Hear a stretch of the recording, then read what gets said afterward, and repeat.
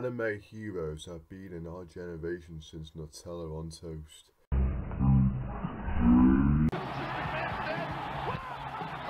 And it's about time I share with you my top 5 anime heroes.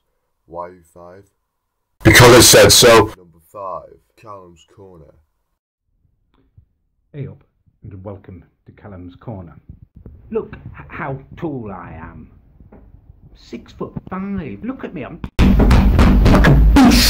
Callum's Corner is the, is the very first anime hero who actually knows karate. Just look at this out there, near enough. Bam! See how high I got my leg there.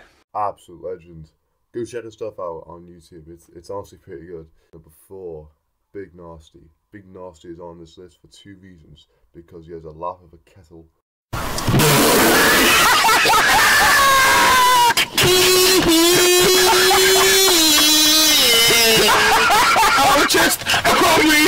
And two, he's the first anime hero to control horses. Horse whisperer!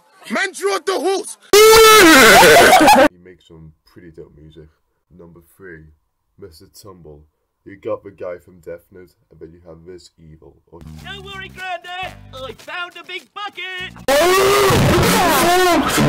should I say, anti-hero. The reason why he's on this list is because he has the power of having multiple personalities, like that amazing M. Night Shyamalan movie that came out this year. Number two, Dick and Dom. If you want a really good anime, go watch Game of Thrones, I mean Legend of Dick and Dom. Pretty much the forgettable Ant and Dec. And they were the first anime heroes to make a prank channel, where they shout bogeys in your local Lidl down the road. Number one, Cory in the house. How about now?